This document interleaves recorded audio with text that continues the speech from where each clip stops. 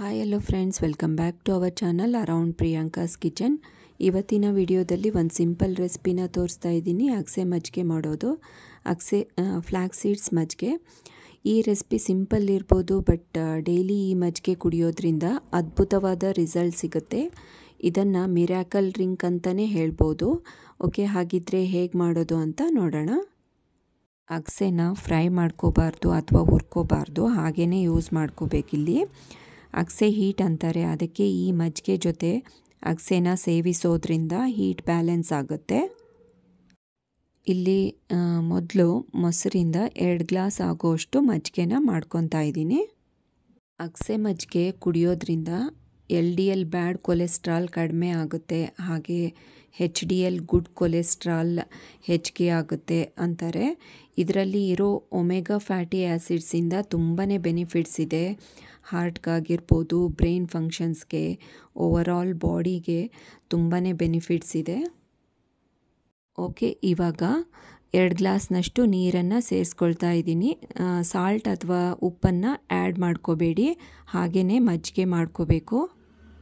Effective result ಸಿಗಬೇಕು ಅಂದರೆ ಮಜ್ಜಿಗೆ ಮಾಡಿದ ತಕ್ಷಣವೇ ಕುಡಿಬೇಕು. ತುಂಬ ಹೊತ್ತು ಇಡೋದಾಗಲಿ ಅಥವಾ ಫ್ರಿಜ್ಜಲ್ಲಿ ಇಟ್ಟು ಕುಡಿಯೋದ್ರಿಂದ ಏನೂ ಆಗಲ್ಲ ಬಟ್ ಗುಡ್ ರಿಸಲ್ಟ್ ಸಿಗಲ್ಲ ಅಷ್ಟೇ ಇಲ್ಲಿ ನಾಲ್ಕು ಟೀ ಸ್ಪೂನ್ ಅಗಸೆನ ಮಿಕ್ಸಿ ಜಾರ್ಗೆ ಸೇರಿಸ್ತಾ ಇದ್ದೀನಿ. ಅಂದರೆ ಒನ್ ಗ್ಲಾಸ್ಗೆ ಎರಡು ಟೀ ಸ್ಪೂನ್ ಬೇಕಾಗುತ್ತೆ.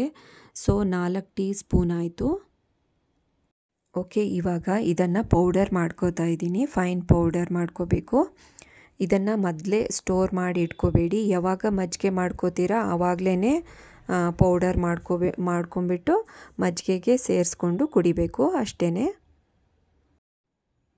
ಇವಾಗೆಲ್ಲ ಕೋಲ್ಡ್ ಪ್ರೆಸ್ ಆಯಿಲ್ ಮಿಲ್ಲು ಅಥವಾ ಗಾಣದ ಮಿಲ್ಲಲ್ಲಿ ಅಗಸೆ ಬೀಜದಿಂದ ಅಗಸೆ ಎಣ್ಣೆನ ತೆಗಿತಾರೆ.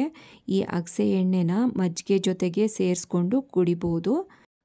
ಅಂದರೆ ಒಂದು ಗ್ಲಾಸ್ ಮಜ್ಜಿಗೆಗೆ ಒಂದು ಟೀ ಸ್ಪೂನ್ ಅಗಸೆ ಎಣ್ಣೆ ಮತ್ತು ಒಂದು ಟೀ ಸ್ಪೂನ್ ಅಗಸೆ ಪೌಡರ್ನ ಸೇರಿಸ್ಕೊಂಡು ಕುಡಿಬೋದು.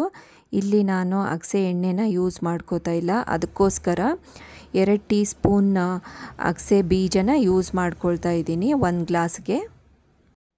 ಓಕೆ, ಇವಾಗ ಅಗಸೆ ಮಜ್ಜಿಗೆ ರೆಡಿಯಾಗಿದೆ. ನಾನು ಇದನ್ನು ಸರ್ವ್ ಮಾಡ್ಕೋತಾ ಇದ್ದೀನಿ. ವೆರಿ ಸಿಂಪಲ್ ರೆಸಿಪಿ, ನೋಡಿದ್ರಲ್ಲ? ನೀವು ಟ್ರೈ ಮಾಡಿ. ಹಾಗೆ ಇದರ ಎಫೆಕ್ಟಿವ್ ರಿಸಲ್ಟ್ ನಿಮ್ಮದಾಗಲಿ ಬಟ್ ಮರಿಬೇಡಿ ಡೈಲಿ ಈ ಮಿರಾಕಲ್ ಅಗ್ಸೆ ಮಜ್ಜಿಗೆ ಮಾಡಿ ಕುಡಿಯೋದನ್ನು. ಓಕೆ ಫ್ರೆಂಡ್ಸ್ ನಾನು ಸಿಗ್ತೀನಿ ಇನ್ನೊಂದು ನೆಕ್ಸ್ಟ್ ವಿಡಿಯೋದಲ್ಲಿ ಹಾಗೆ ಈ ವಿಡಿಯೋ ಇಷ್ಟ ಆದರೆ ಲೈಕ್ ಮಾಡಿ ಶೇರ್ ಮಾಡಿ ಕಮೆಂಟ್ ಮಾಡಿ, ಹಾಗೆ ಸಬ್ಸ್ಕ್ರೈಬ್ ಮಾಡ್ಕೊಳ್ಳಿ. Thanks for watching this video